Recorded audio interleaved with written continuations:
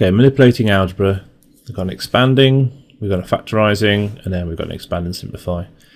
Now I put this all down as grade D because this technically is grade D, but this expansion is very easy to make mistakes on. We'll just talk you through the, the basics. So expanding one bracket, we do 5 times the x is 5x, and then 5 times the 7 is 35. Most common wrong answer there is just to put a 7 on the end. You've got to get it all right to get your one mark. Factorising this, well there's only one letter here, there's not two letters, so the only thing that's going to go into both of these is a number. Factorising means to put the brackets back in.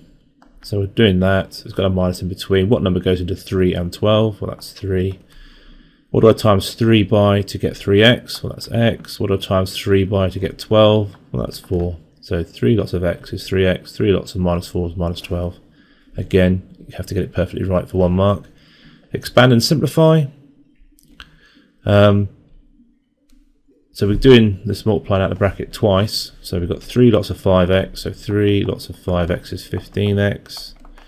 3 lots of plus 2 is plus 6. Now this is where it gets tricky. We've got minus 4.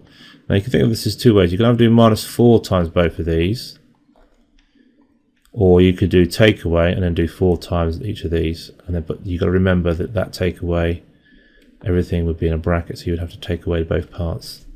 Probably best just to do the minus 4. Minus 4 times 2x is minus 8x.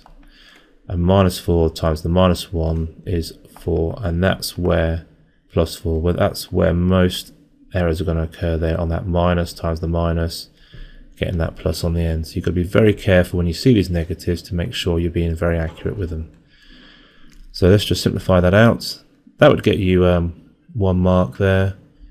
Um, and if you got it completely right like that, that would give you a second mark. And then just to finish it off, 15 take away 8 is 7x, plus 6 plus 4 is plus 10. So that would give you the, the last mark for getting it completely right.